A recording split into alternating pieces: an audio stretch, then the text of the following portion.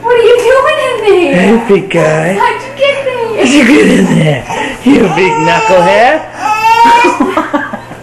How'd you do that? How'd you do that, little boy? Huh? boy. Let me get in here.